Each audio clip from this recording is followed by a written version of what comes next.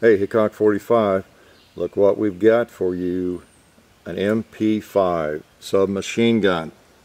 Yes, select fire in all of its glory and splendor, 9 millimeter. You should be relatively familiar with an MP5. It is a classic subgun. If you watch movies, you should have seen this firearm before. Your uncle might not have one, your neighbor might not have one, but go rent Die Hard. You'll see one. Pretty cool, huh? We appreciate Silencer Co. coming by and bringing this little jewels. So we're going to take a few shots with it. Let's open up the stock. It's an MP5A3 because it has a collapsible stock. Put my ears on because it might make some noise. All right. What should we shoot? How about let's start with a two liter and a watermelon. And let's just go select fire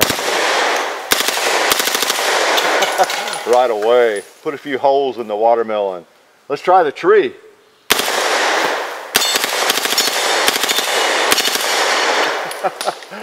oh, that was fun. Oh, it's empty already. That's the problem with the fun switch ammo depletes pretty quickly, doesn't it? Well, we have some more. Here we go. We're ready to go again. Let's try that tree again. That was pretty neat.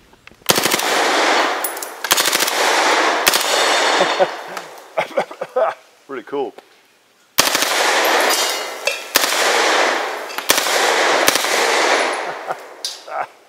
Let's throw a burst at that uh, red two liter. See if I can hit it. Very nice. Pretty nice trigger. All right, what a show. oh no, I think we depleted another magazine. Uh, one thing I noticed about it, because I know a lot of you will be buying these probably, uh, and you'll want to know, the trigger is really nice on it, and uh, even in full auto format, you can get it on target and ease that trigger on and you know you can hit what you're trying to hit with three four round bursts you know pretty well. That's why this is so popular. And it's been a very uh, popular uh, subgun for decades. It was developed in the, the 60s you know by the Germans. And it is you know H&K they don't make any junk do they? And uh, this is a good example of that. It just works. It always has works. It, has been used I mean it's used in you know 40 or 50 countries around the world uh, widely adopted for various agencies, and uh, it's just a reliable. Now we may have some trouble. We're we're shooting uh, a random uh, sampling of magazines, and and we're going to have to go to our my hand loads here at some point uh, because we didn't have as much uh, subsonic ammo, uh, nine millimeter ammo, but but they just typically work. Whatever problem we have will not be indicative of what the MP5 is known for because it'll be a magazine or, or ammo or some old case issue but uh, they just they're just a, a, a splendid gun uh, perfect size perfect caliber. And, and and and they work let me show you just a little bit about it. Uh, take take it down here for you.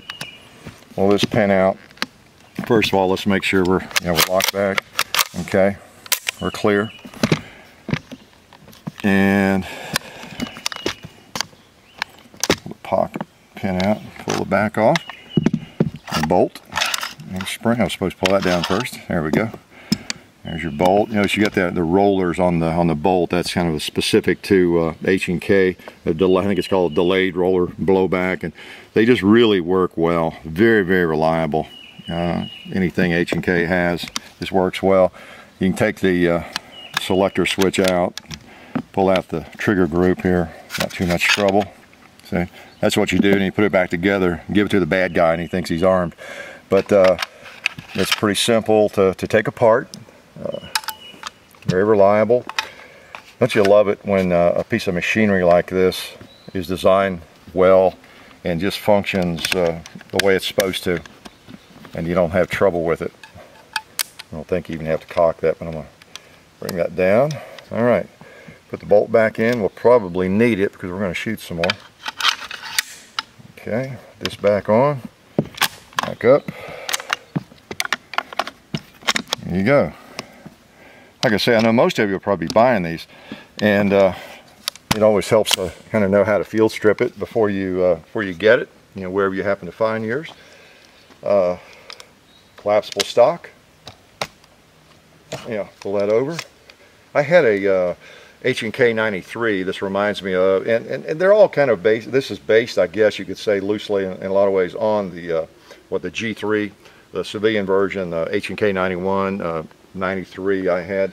Uh, the sights, the, the bolt and everything, the way it operates, just that good old reliable H&K uh, design. So what we're going to do now is uh, go to the next phase. Like I say, Silencer Co. was uh, on their way back to Utah and we saw them driving by on the road up there and flagged them down. And uh, they happened to have a trunk load of uh, suppressors, a couple of cool guns.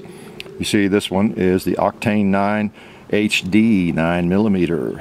And uh, this one uh, does a great job. We're going to put it on this firearm and it's got a, a very a simple mounting system. I like that. You see it's got a kind of a three point there. You just put it on and twist it a little bit and there it is.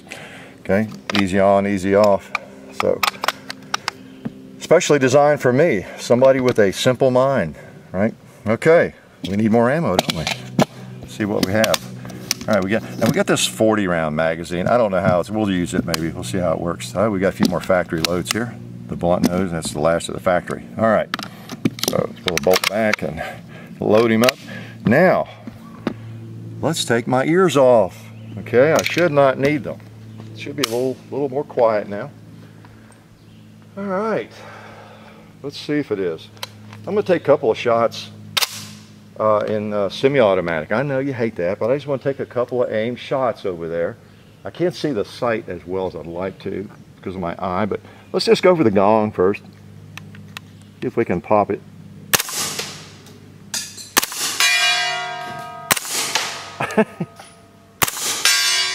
Nice, that is quiet, isn't it? Until it hits the steel. Well, I'm throwing over.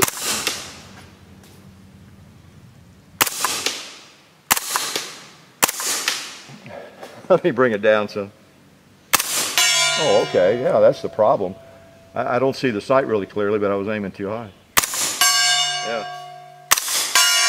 Okay. It's amazing what can happen when you uh, use your sights properly.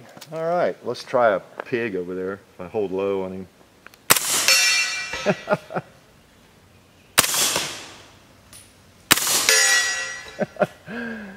he didn't even hear it coming, did he? Cool, cool. Let's try that turkey.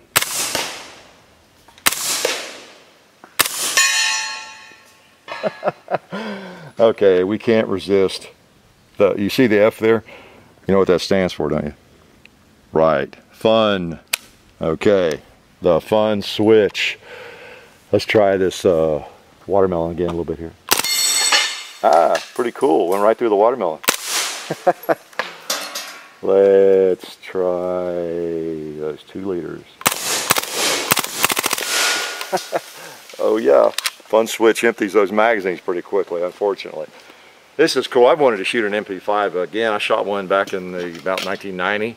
That's a long dry spell, 1990. That's almost uh, 20 years, isn't it? 1990 since I've held one of these and fired it, and uh, it is really neat to be able to shoot one again. So let's try another. These are my hand loads. I didn't load them with MP5 in mind, but uh, they, we've tried them. They've been working okay so far. I think we had one hang up, but we think it's uh, a magazine problem. Okay, let's take a couple of shots at, I know you're going to be mad at me if I don't try to hit the gong full auto, aren't you? So let's get over, get that over with uh, without sending anything into the next county.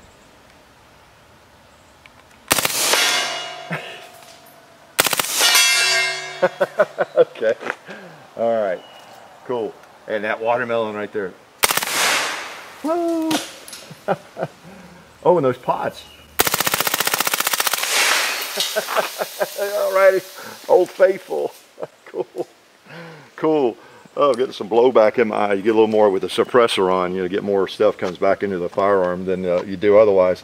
That is fun. That is fun. Let's make sure that it was empty. Yeah. That was. oh man, nine millimeter MP5 whew, doesn't get a lot better, does it? And we have more ammo. Uh, let me uh, let me try let me try this big magazine. Okay. Uh, you know what though? Before we do that, let's load one of these because we have a another target that's a little bit special. We had a little bit of a hang up with that magazine. I don't know uh, what it might have been, and I don't want to to happen right in the middle of it. So let's make sure we get some ammo. These are 147 grain bullets, and that's pretty much what makes them subsonic because they're heavy, you know, and they're not trucking along at, you know, 1500 feet per second or anything. And, uh, you know, subsonic is less than the speed of sound, again, you people in Kentucky. Uh, and uh, that makes the suppressor, of course, work more efficiently, makes it uh, more quiet. You don't hear the, the bullet cracking as much. Although, you can shoot some really hot ammo, you know, through a suppressor, and it does reduce uh, the sound. You all know that. Okay. These are again, these are random cases. I don't sort my brass. I, am not going to be carrying this ammo to war or anything. For self-defense, this is just range stuff uh, that I load, and uh, we'll see how it, how it works. Nobody's shooting back at me, so uh, we're not in jeopardy of being overtaken because I have a bad piece of brass here. I've got backup here if that does happen. Okay. Well, let's take a couple more shots with it. My, uh, yeah. We have a drum here, a, garbage can actually, and we're just going to shoot it, okay? For your education and enjoyment. I think I'll uh, put the stock in. After all, isn't that what they do in the movies? Yeah, so whatever they do in the movies must be the way to do it. All right, now, I think I can hit that without using sights. That's uh, four or five yards away. Okay, here we go. Uh-oh, wouldn't you know it. Malfunction. Clear. Try again before it leaks out.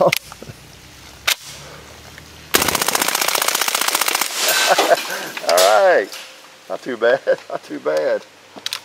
Okay, that's the way to do it in the movie. See, shoot from the hip, shoot from the hip. Pretty cool, huh? Let's try this big magazine now. We've broken the ice with the malfunction. Again, you know, that's my uh, my hand loads and oddball brass and all that kind of stuff. Now this is a 40 rounder. Let's put this back out. Let's get more serious. All right. Uh, what can we do to be educational? How about, let me uh, just do a burst on the tombstone there, and I'll try to try to kind of hold it on there a little bit, you know. Maybe I can get two or three on it. Yeah. Mm. I'm getting a uh, little stuff in my eye there from the blast. All right, let's try the cowboy. See, that's why this gun is so effective and you've seen so many movies and you know of a lot of forces, whether it's SWAT or whoever it is, you know, bursting into a room with something like this and taking out bad guys because I don't have any training in that, but you know, you come into a room and you, boom, boom, boom, you put, you know, three, four, five on each bad guy very, very quickly, you know, just with a quick pull of the trigger. And it's just an extremely effective firearm. Let's try the uh, uh, propane tanks down here.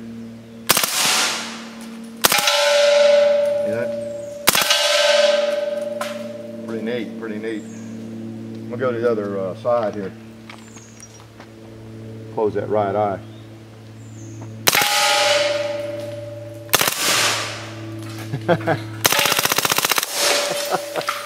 Getting a lot of stuff back in my face. Okay, that is pretty neat. That's amazing. Now those were my hand loads again, and that was a questionable magazine, but uh, it seemed to to work pretty well. I don't know if my face is all full of dirt or what it might be, but uh, it felt like you know you, you get a lot back, uh, you know, from uh, from it with the suppressor on it. It's just the way it is. Okay, I was getting a little bit in my eye. Okay, pretty neat, pretty neat. Let's shoot a few more shots. All right, now that magazine is not empty. Yes, it is.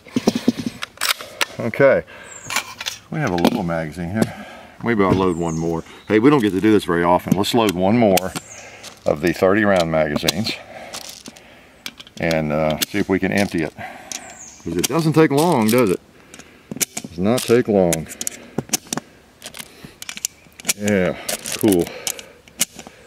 Again, 147 grain, subsonic.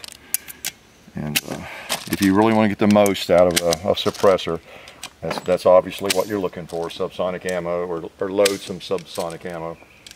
But, uh, metal jacket while we're firing here.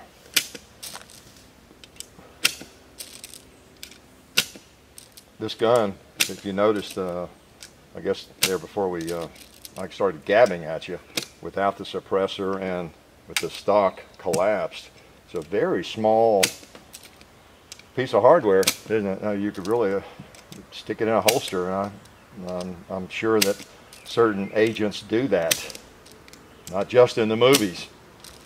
You know, the uh, Secret Service in the United States used to uh, carry, I think some of them carry full-size Uzis in a uh, special holster, uh, shoulder holster rig and so this would be even easier to carry because it's not it's not as heavy. And that's one of the advantages of this gun as, as I see it. And I guess a lot of people over the Uzi. The Uzi's a pretty cool gun, uh, but it's kind of heavy too. It really is. So you saw that's a very, very quiet uh, suppressor, isn't it? And again, it comes off and on very easily. It's probably kind of warm. And uh, if I'm very smart, I probably will use something between my hand and it. Oh, it's really hot. It's going to maybe take a couple more shots without it. But we can manage that. Got pulled in on it. There we go. There we go. Should melt my earphones. Okay. Yeah, like I was saying, it's a very small subgun. I mean, look at that. I think my Model 29 Smith & Wesson must be about that length almost, you know. And think of the power, the firepower, and the effectiveness of this thing and that's why it's used in so many countries and has been used. Again, it's a little bit dated, maybe. Uh, there's a lot of cool stuff out there, a lot of things that work, but uh, this thing is, uh, is pretty cool. So let's do a little noisy shooting now. Now you've seen the difference. Bolts back. All right. All right. It's pretty warm. Pretty warm. All right, we're going to be noisy. Let us just play full auto. What if I get? I wonder if it'll shoot one-handed. Now it may limp wrist on me because it's hard to get a really good grip on it, but we'll try it. that was pretty neat. it gets into a rhythm. It feels really good. I'm gonna do that again. Is that okay? Can I do that again? Thanks, I knew you wouldn't mind. All right. This magazine's not as uh, long, so it'll be a quick thrill. Have I forgotten anybody? I don't want to neglect any targets, no. Except this watermelon. Uh, let me go down here and get a good perspective on him. All right, here we go. Let's finish him off.